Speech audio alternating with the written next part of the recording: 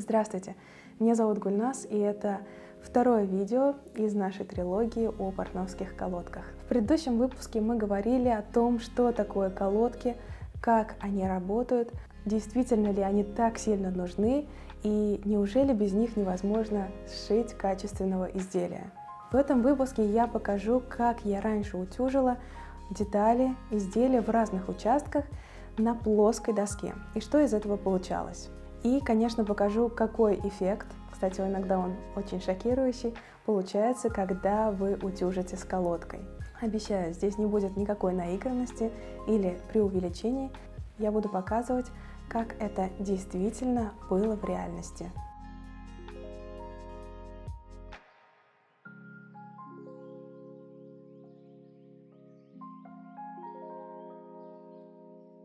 Итак, первое – это универсальная колодка. Она супер-супер многофункциональна, сейчас покажу. И видите, она может стабильно стоять на любой плоскости, можно ее крутить во все стороны. И в любом положении она устойчива на столе, потому что здесь все выверено до миллиметра. Во-первых, на самой большой плоскости этой колодки очень удобно приутюживать маленькие детали, например, клапан или воротник. Прежде чем выворачивать, разутюживать срезы, мы всегда только что проложенный шов, строчку приутюживаем. Приутюживаем деталь для того, чтобы мы могли более качественно уже дальше с ней работать. Итак, прикладываем деталь и проходим утюгом. Таким образом, вот эта большая плоскость служит вам еще и гладильной поверхностью, маленькой гладильной доской. Но мы используем эту сторону в качестве гладильной доски не потому, что у нас нет большой гладильной доски, а потому что дерево очень быстро охлаждает деталь, отводит лишнюю влагу, и поэтому наша деталь отутюживается еще более качественно. Отлично, приутюжили деталь, и теперь нам необходимо разутюжить срезы по воротнику.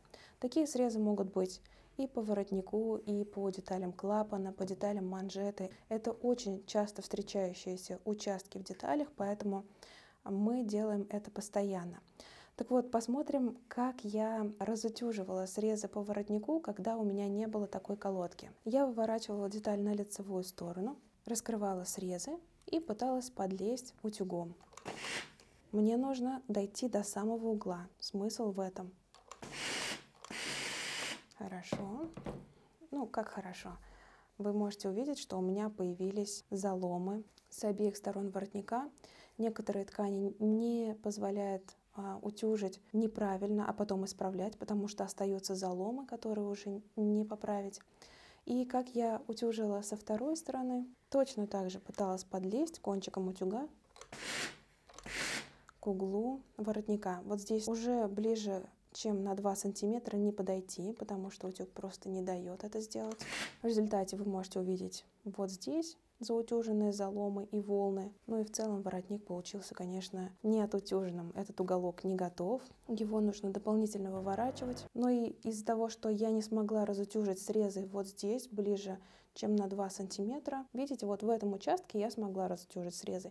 И они лежат неплохо. А вот здесь, уже ближе, чем на 2 сантиметра к уголку, я не смогла подойти, поэтому внутри срезы очень комканы, они не расправляются. Ну и в целом вы можете увидеть, каким был воротник. Затем мне приходилось выталкивать этот уголок с помощью колышка или с помощью нитки, затем исправлять вот эти заломы, которые я сделала. Теперь посмотрим на разницу в результате, если мы используем универсальную колодку. Вот здесь есть такой участок, с острым углом. У него разные грани, поэтому вы можете поворачивать его в зависимости от того, какой у вас участок, то есть какая у него особенность. Я воспользуюсь самой верхней частью, надеваю воротник и просто расправляю срезы полностью от края до уголка. Отлично. Кстати, для того, чтобы лучше закрепить результат, используйте портновский утюжок. Это тоже а, деревянное приспособление для утюжки. Так ваша деталь еще быстрее остынет и еще лучше зафиксирует свое положение. Мне очень нравится утюжок, который с одной стороны имеет ровную поверхность, а с другой есть небольшое углубление. И его очень удобно использовать, когда вы утюжите участок с молнией. То есть а, молния просто утопает внутрь этого углубления, и вы утюжите непосредственно ткань. Итак, мы разутюжили одну сторону, видите, до самого уголка.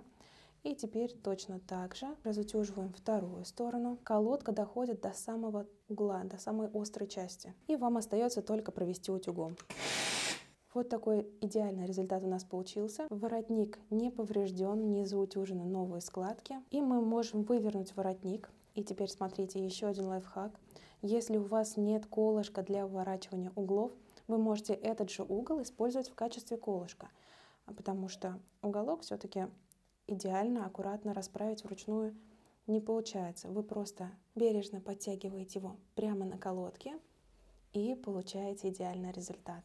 Далее переворачиваем эту же колодку самой большой плоскостью наверх. И нам остается только приутюжить воротник. Можно закрепить дополнительный результат утюжком. И у нас получился идеальный отутюженный воротник. Теперь посмотрим на случай с закругленной стороной, то есть без уголка. Такая форма встречается не только у воротников для блуз или рубашек, но, к примеру, клапаны. Это очень частая ситуация, клапаны имеют закругленную форму. Кстати, и манжеты тоже. Как я делала это раньше, то есть разутюживала срезы без колодки. Примерно так же я уворачивала его на лицевую сторону и пыталась подлезть в самую глубь. Вы, наверное, уже представляете, что там происходит. Вот примерно так это выглядит в лучшем случае. Точно так же я пытаюсь разутюжить со второй стороны. Э, кстати, я абсолютно не преувеличиваю для того, чтобы показать, посмотрите, какое было до, какое после. Я реально а, разутюживала срезы, по крайней мере, пыталась разутюжить их таким образом. В результате я заутюжила заломы с обеих сторон. Потребуется очень много времени, чтобы их исправить, особенно если вы, к примеру, шьете лен. Там практически нереально исправить заломы, придется стирать изделие. Ну и, конечно, самую округлую часть а, разутюжить у меня не получилось. Но если приутюжить эту часть, к примеру, то мы получим такой результат. Здесь остались утолщения, в некоторых местах срезы скомкались. И если провести рукой, это очень сильно заметно. Также эти комки могут проявляться на внешней стороне воротника, оставлять следы, ласы, поэтому а, ничего хорошего от того, что они там есть. Ну и шов, видите, он не расположен прямо по сгибу, а мне хотелось бы иметь такой вариант. Округлый воротник получился не совсем округлым. Вот здесь можно увидеть недочеты, небольшой уголок вот здесь и здесь. Теперь попробуем разутюжить срезы с помощью универсальной колодки. Покрутим ее. У колодки есть несколько округлых частей. Одна, которая побольше, вторая и еще третья. Я выберу самую большую, надену воротник и видите, как он идеально лег. При этом я не краила а, воротник по размерам этой колодки. И на самом деле любой воротник ляжет идеально на этой колодке, потому что у колодки есть разные стороны, разные участки. Вы можете крутить, подбирать необходимую сторону. Но вот у меня идеально лег с первого раза в этом положении, и я теперь разутюживаю срезы.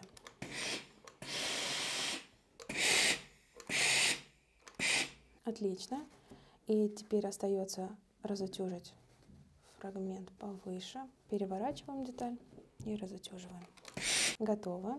Как видите, срезы по всему округлому участку идеально разутюжены. Ну а для того, чтобы разутюжить оставшийся участок, уже прямой участок, мы используем вот эту плоскость, которую использовали уже ранее. И посмотрите, мне не нужно никакого колышка. Воротник выворачивается идеально, он округлый, по всем участкам. Нам остается его только приутюжить. Переворачиваем колодку другой стороной.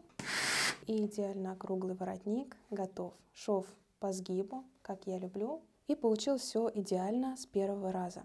А теперь посмотрим на примере рельефов. Представьте, что это передняя деталь, например, вашего платья, полочка, вот ее центральная часть и вот боковые части, соединенные рельефными швами. Они округлые, и их значение — это повторять форму фигуры, форму груди, поэтому нам важно, чтобы они были а, разутюжены максимально качественно. Сейчас покажу, как я делала это раньше, без колодки. Допустим, нам необходимо разутюжить эти срезы. Срезы можно разутюживать и заутюживать в одну сторону, но рассмотрим вариант с разутюжкой в разные стороны. Итак, здесь все неплохо. Продвигаемся утюгом. Ну как неплохо, вы можете увидеть, что я вот здесь уже немножко сутюжила участки от шва, потому что вот здесь у нас идет расширение, здесь заложена талиевая выточка, поэтому деталь не плоская, и вот эту часть я уже сутюжила, а этого делать нельзя. Ну хорошо, продвигаемся дальше. Подходим к самой округлой части. Здесь я немного натягивала деталь для того, чтобы хоть как-то сгладить ситуацию. И, и немного округляла деталь для того, чтобы подлезть к округлой части рельефа. Опять-таки абсолютно без преувеличений, без наигранности. Посмотрите, что у меня здесь происходит. Я заутюжила огромнейшее количество волн, складки, складки по срезам, которые нужно будет исправлять. Дальше я подходила с обратной стороны, потому что идти еще выше смысла нет, потому что мы заутюжим еще больше складок. Подхожу с обратной стороны и делаю примерно то же самое. Выгибаю я для того, чтобы не заутюжить больше складок. В результате деталь не отутюжена, можно сказать и так, потому что я создала огромнейшее количество волн, складок. Складки по срезам, они не разутюжены идеально. Еще один неприятный момент, я могла создать дефект посадки, потому что я растягивала полотно, а значит где-то у меня может появиться выпуклость, а она мне вообще не нужна. В результате, в самом лучшем случае, рельеф в округлой части с лицевой стороны выглядел вот так. Ну и швы разутюжены не идеально. Даже с лицевой стороны у меня заутюжена складка, то есть наплыв одной стороны на другую. Посмотрим, что можно сделать с помощью универсальной колодки. Переворачиваем ее таким образом, чтобы вот эта округлая часть оказалась сверху. Далее накладываем деталь изнаночной стороной вверх, накладываем шов, можно начать прямо с уголка и разутюживаем. Отлично. И посмотрите, в чем преимущество такого разутюживания на колодке. Мы утюжим только область со швом и срезом. Мы не уходим дальше к деталям боковым и центральным. Помните, в самом начале мы вот здесь заутюжили складку, сутюжили деталь, а этого делать было совсем нельзя, потому что посадка на фигуре уже будет испорчена. Поэтому нам нужно работать только со швом. Вот эта узкая плоскость как раз позволяет нам это сделать.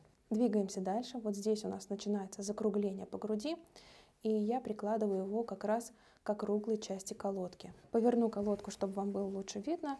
Вот здесь у нас начинается закругление, самый сложный участок, и я использую закругленную часть колодки. Также располагаю полностью на узкой части. Можно зафиксировать, помочь утюжком. И продвигаемся дальше, поворачиваем деталь. И видите, уже поутюженная часть висит, поэтому мы ее не будем задевать, мы ее не испортим. Работаем только с новым участком. Отлично. Готово, рельеф разутюжили. Можем вывернуть на лицевую сторону. Можем дополнительно пройтись с лицевой стороны. Это у меня тестовый образец, но если я утюжила бы изделие, я бы использовала проутюжельник. Видите, под любой участок можно подобрать колодку. Еще один момент. Помощью этой же округлой части, только уже перевернув колодку, вы можете поутюжить, например, боковую деталь или лицевую. Просто прикладываете шов к округлой части, к округлой стороне колодки с комфортом, безопасно утюжите деталь. И вот такой результат утюжки с помощью колодки. Видите, нет заломов, шов прямо посередине, нет никаких складок и наплывов, в отличие от первого варианта. Ну и мы смогли создать тот объем, который хотели. Посмотрим на примере образца брюк или шорт. У нас здесь боковые швы, которые имеют округлую форму, выточки и средний шов, соединяющий две части брюк. На одной половинке покажу, как я делала раньше, без колодки, а вторую деталь посмотрим уже с колодкой. Итак, например, выточка. Располагаем ее на плоскости и утюжим. Видите, я снова поднимаю с одной стороны для того, чтобы не наделать ошибок дальше. Но побочный эффект этого я вытягиваю область под выточкой. Поэтому это тоже не есть решение. Ну а если не вытягивать, то сейчас вы увидите, что получится. Я не могу остановиться только на уровне конца выточки мне необходимо сутюжить слабину, волну, объем, который образуется под выточкой. И именно поэтому я завожу утюг дальше. И что получается в результате? Здесь мы видим огромное количество складок, и их, конечно, придется исправлять. Теперь попробуем разутюжить боковой шов. Мне придется снова подлезать к нему. Изделие не раскрыть, все-таки это уже практически собранные брюки, поэтому мне придется подлезать. Я реально стараюсь сделать максимально аккуратно, тем способом, которым я делала когда-то. В итоге я смогла подлезть примерно на 20 сантиметров. Вот так это выглядит с изнанки. Срезы смотрят в разные стороны. Вот здесь заутюжены складки и волны. И вот так это выглядит с лицевой стороны. Посмотрим, что можно сделать с помощью колодки. Повернем колодкой вот этой стороной наверх, которую мы уже использовали для рельефов. Накладываем выточку. И видите, ее кончик я прикладываю участку, в котором начинается закругление. Снова я не задеваю участки справа и слева от выточки, а значит не сутюживаю их, работаю только с выточкой и областью ниже нее. И вот такой чистый, аккуратный результат мы получили. Выточка заутюжена хорошо, без дефектов. И вот этот уголок тоже без складок и замин. Теперь попробуем разутюжить боковой шов. Воспользуемся той же стороной. Я надеваю брюки прямо на колодку. Можете не бояться это делать, потому что здесь нет никаких креплений. Можно надевать изделие прямо поверх колодки. С комфортом раскладываю боковой шов и разутюживаю. Вновь работаю только с участком вдоль шва и со срезами. Передвигаю деталь, подбираю удобный участок, который повторяет контуры.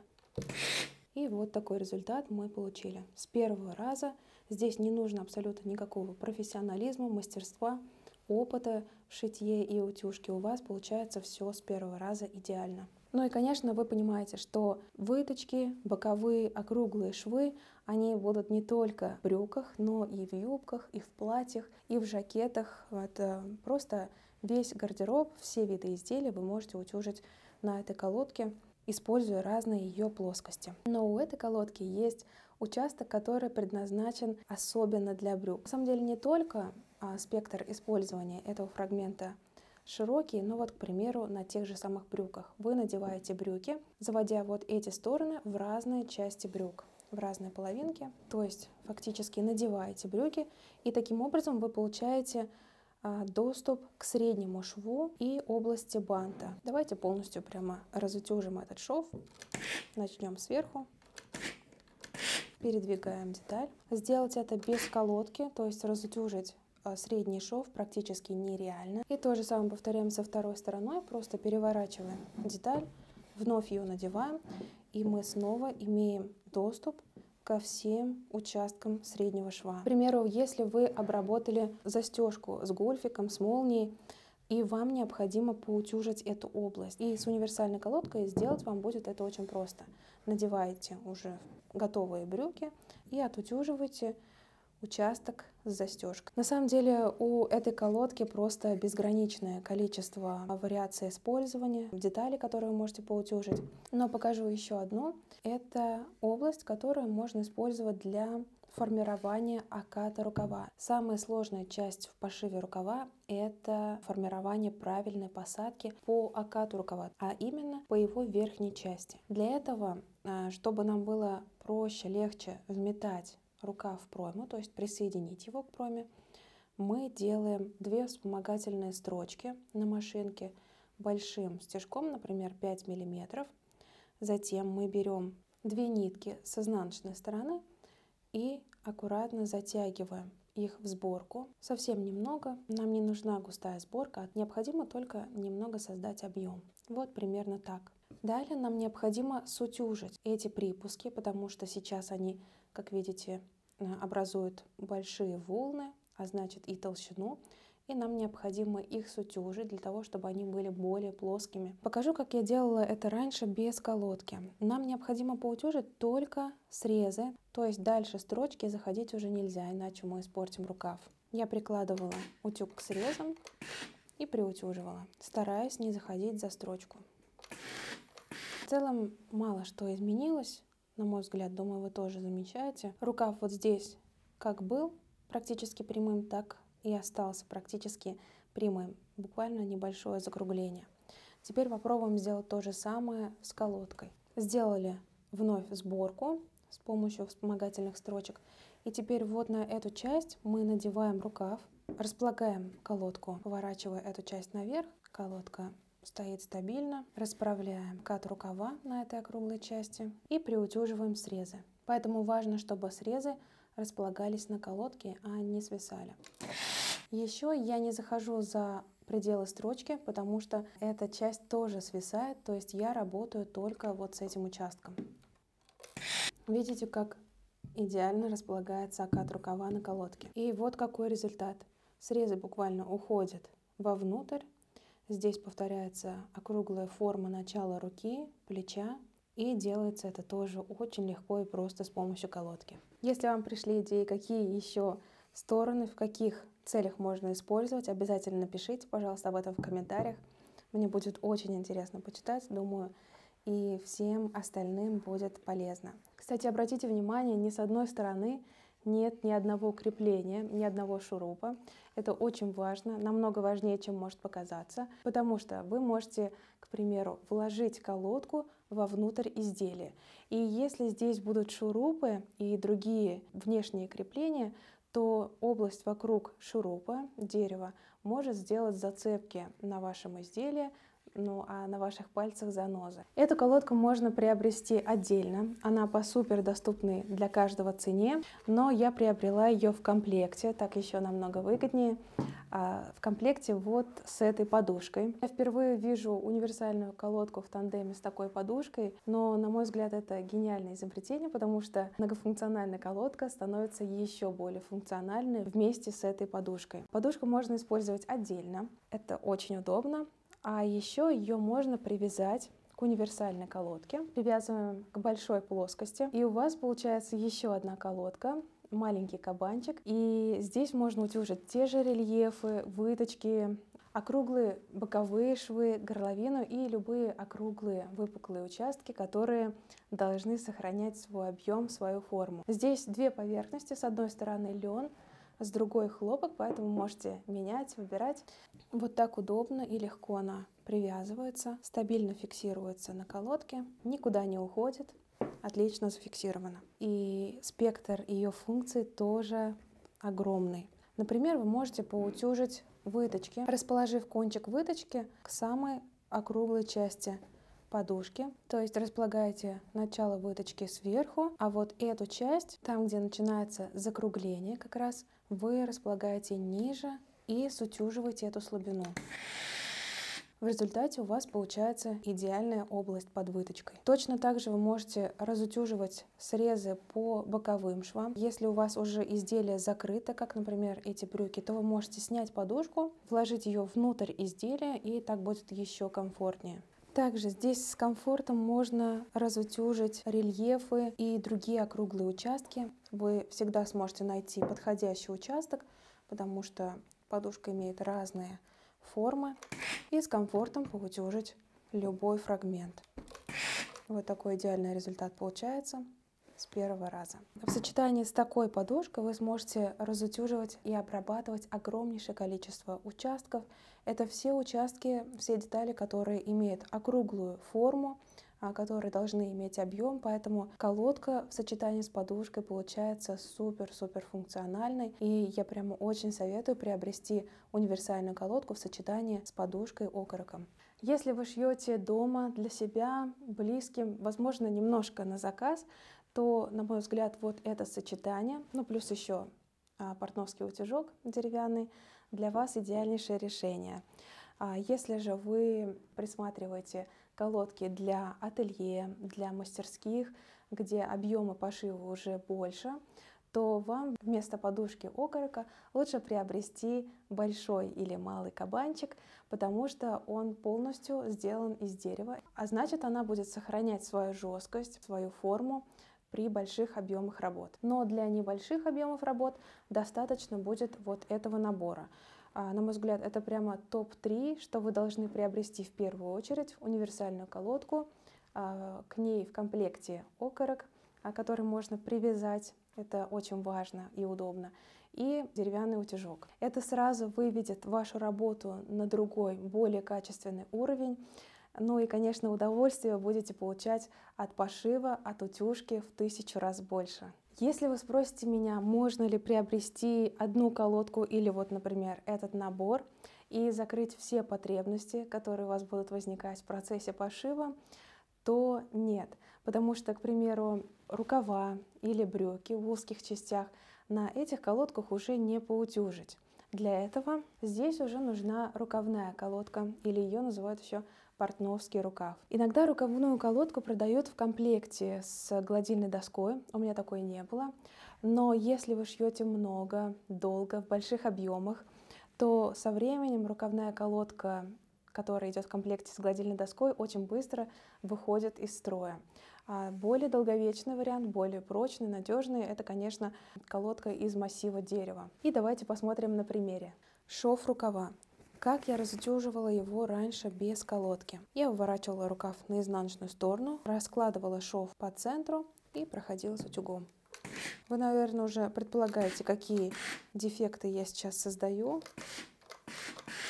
какие ошибки, которые мне придется исправлять. Самая большая ошибка – это, конечно, заутюженная складка, залом. Потом я выворачиваю обычно рукав. Ну а далее я пытаюсь исправить свою ошибку, исправить рукав и разутюживаю его. Но когда я исправляю эту часть, я заутюживаю складку в другой части рукава, и это просто бесконечный замкнутый круг, потому что нереально поправить эту складку, особенно если у вас рукав узкий. То же самое касается и деталей брюк в нижней части, они обычно с заужением, и бывает очень сложно разутюжить качественно без создания вот таких заломов, дефектов. Посмотрим, как это делается с колодкой. Мы надеваем рукав, расправляем срез и с комфортом разутюживаем. Можно дополнительно закрепить с помощью утюжка. Снимаем рукав, надеваем его с обратной стороны, если длины недостаточно, и получаем идеальный результат – без каких-либо дефектов и заутюженных заломов. Также вы, наверное, можете предположить, э, какая была ситуация, когда мне нужно было подогнуть низ рукава и заутюжить. У меня образовывались те же самые складки, как э, при разутюжке шва рукава, который мы только что смотрели. А вот с этой колодкой делать это очень удобно. Вы просто отгибаете необходимый припуск, надеваете на колодку. Эта колодка подходит даже для самого узкого рукава, потому что узкая часть, достаточно маленькая. Надеваете и приутюживаете. Далее поворачиваем и делаем все по кругу. Такой же участок встречается, например, по низу брюк. Тоже достаточно сложная задача. Аккуратно заутюжить низ брюк. Но вот с этой колодкой очень удобно. Идеально заутюжено, без каких-либо заломов. Вот, к примеру, плечевой шов. Нам важно разутюжить качественно плечевой шов, не сминая при этом оставшуюся часть изделия. Когда я делала это на плоскости, у меня сминалась и спинка, и полочка, образовывались складки по проме, по горловине, потому что такой участок, разложив на столе, поутюжить с легкостью не получается. Видите, здесь все мешает со всех сторон, особенно если ваше изделие уже закрыто. Поэтому в этом случае тоже удобно использовать рукавную колодку, портновский рукав, заводите через пройму или через горловину и с комфортом разутюживаете. То же самое, например, с боковым швом. Получается аккуратное плечо, аккуратный боковой шов. Кстати, те же самые брюки, юбки в боковых швах, в швах сидения, в шаговых швах тоже очень удобно разутюживать на этой колодке. Надеваете деталь брюк, раскладываете боковой шов и разутюживаете. Затем можно перевернуть в шаговый шов, то есть это шов, который остается внутри. Расправляете его и с комфортом утюжите. Как я делала раньше. Вот, к примеру, шаговый шов, который остается внутри. Я раскладывала деталь брюк на столе. Деталь не плоская, поэтому, когда я ее раскладываю, даже если совмещаю швы боковой с внутренним шаговым, то в результате вот здесь у меня образуются складки с обеих сторон. И мне нужно аккуратно это поутюжить для того, чтобы здесь э, не сутюжить, не собрать или не сделать складку. Это очень сложно. Ну и плюс ко всему, вот эта часть брюк не идентична с этой частью. То есть, когда я разутюживаю шаговый шов, я тем самым делаю складки с обратной стороны, то есть с области бокового шва. И потом это все необходимо исправлять. А исправлять на плоскости тоже не так-то просто. Удобнее было бы надеть на колодку портновский рукав и с комфортом поправить вот эти участки. Многие мастера судят о качестве сшитого изделия в первую очередь по рукаву, по правильной посадке оката рукава по верхней части и от утюженности. У меня, кстати, тоже есть такая привычка. Я в первую очередь смотрю на верхнюю часть, на окат рукава, как он присоединен к пройме. Так вот, окат рукава, то есть верхнюю его часть, важно максимально подготовить перед тем, как присоединить его к изделию, к пройме. А еще многие боятся именно присоединения рукава. Кстати, я тоже боялась, а, когда только училась шить. Это была моя самая нелюбимая часть, потому что у меня не получилось распределить посадку по окату рукава. Но есть такая волшебная колодка, которая делает рукав идеальным, и вам просто необходимо будет уже готовый рукав присоединить к пройме, и все получится с первого раза. Мы посмотрели, как можно утюжить окат рукава на универсальной колодке, но если вы планируете шить много жакетов, пальто, ну и в целом изделий с рукавами, то вам потребуется колодка, которая называется силуэт. Видите, она имеет форму плеча и начало руки. И вот как раз одна из главных ее функций – это формирование оката рукава, верхней его части. Сейчас у меня в работе жакет из твида, и это, кстати, очень интересно, шить из твида. Посмотрите, какой у меня получился рукав. Я могу прямо надеть его на колодку, чтобы вы увидели форму. Видите, эта форма идеальнейшим образом повторяет силуэт руки и плеча. А изначально рукав был вот таким прямым, плоским. На твиде, на пальтовых тканях, на тяжелых костюмных тканях вот эта сутюшка, окат рукава очень сильно заметна и создает прямо вау-эффект. Я собираю с помощью вспомогательных строчек верхнюю часть оката рукава. Кстати, колодку можно использовать как раз для этих целей. Многие боятся пересобрать лишнего или недособрать, поэтому вы можете приложить рукав к колодке и затянуть прямо на колодке. Она сама вам подскажет, когда стоит остановиться, стоит ли добавить еще немножко, потому что она идеально повторяет силуэт человека. Еще у этой колодки есть особое удобство. Видите, вот эта часть открыта, и поэтому вы можете надеть рукав, и он располагается так, как будто вы надели его на руку. Но не только в этом плюс. Когда вы надеваете таким образом рукав, вы можете отутюжить его со всех сторон а, полностью, фактически всю верхнюю часть аката. Если бы вы надевали его вот так, то вам можно было бы работать только вот здесь, потому что если вы спускаетесь ниже, вот здесь можно заутюжить склад. Итак, надеваем рукав и смотрите, какая магия сейчас произойдет. Видите вот эти волны? Они сейчас исчезнут. И еще такой момент. Вы можете спросить, для чего колодка силуэт отдельно. Если мы могли сутюжить окат рукава на универсальной колодке. Но помните, я говорила о том, что на универсальной колодке можно располагать только срезы, а область за пределами вспомогательной строчки уже не должна заходить на колодку. Иначе мы можем создать дефекты по рукаву. Здесь же вы можете завести рукав вплотную, то есть колодка у меня прямо внутри. Строчка у меня заканчивается вот здесь, вспомогательная, а колодка ушла вовнутрь рукава, то есть вот здесь она прямо находится. И вы можете поутюжить, придать форму и вот этой верхней части рукава. Это очень классно. Отлично, акад готов. Видите, срезы плотно лежат, они плоские, никаких заломов, складок, все идеально. Теперь можем поутюжить вот эту часть рукава, прямо прижимая вплотную к колодке. Получается просто идеально. Даем рукаву немножко остыть. С колодкой он остынет очень быстро, потому что внутри дерева. И можем снимать. Посмотрите, какая форма рукава. По-моему, это просто магия. Но это не единственная функция колодки силуэт. Вы можете поутюжить всю плечевую часть, область проймы, горловины изделия. Это такие достаточно сложные участки, которые легко можно испортить, если утюжить на гладильной доске на плоской поверхности. Надеваете изделие. Видите, пройма заходит легко в эту часть колодки, идеально располагается. Здесь вы можете разутюжить плечевой шов, а еще хорошенько поутюжить выточку в таком положении, в каком она бы сидела на вашей фигуре, потому что здесь есть такое округление, как раз как на нашей спине.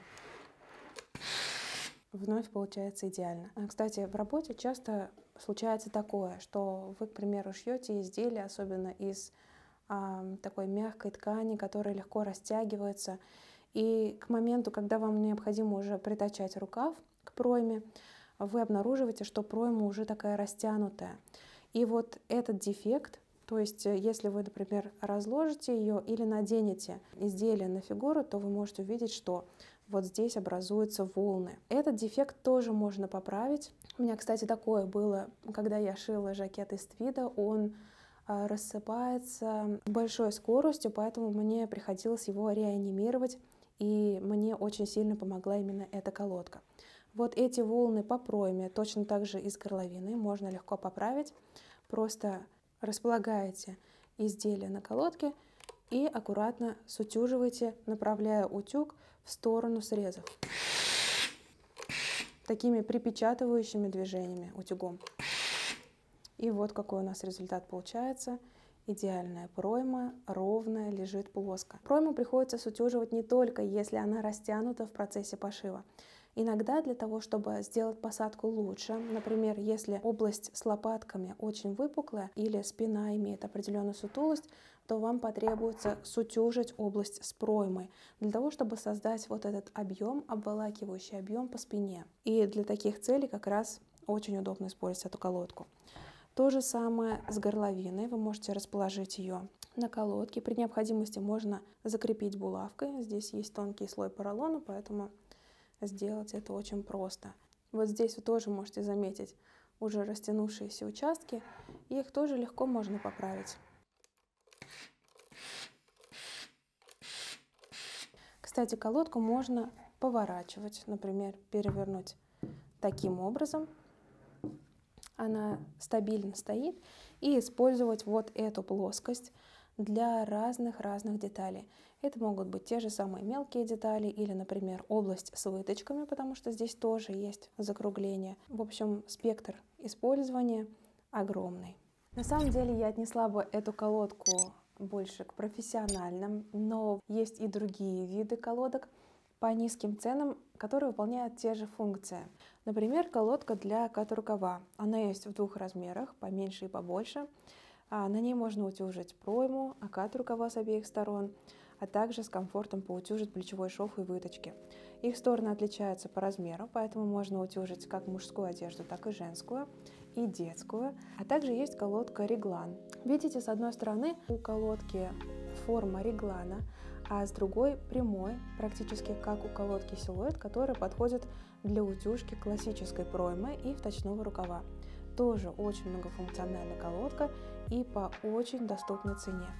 На этом все. Пишите в комментариях, если у вас есть другие идеи о способах использования этих колодок. Уверена, я знаю далеко не о всех способах применения. В следующем выпуске я расскажу о том, колодками какого бренда я пользуюсь и почему, а также о чем нужно помнить при покупке колодок и выборе производителя. У меня был опыт покупки колодки много лет назад, и спустя долгое время использования я сделала определенные выводы. Есть некоторые моменты, на которые действительно важно обращать внимание при покупке. Поэтому встретимся в следующем выпуске. Желаю вам хорошего и успешного дня.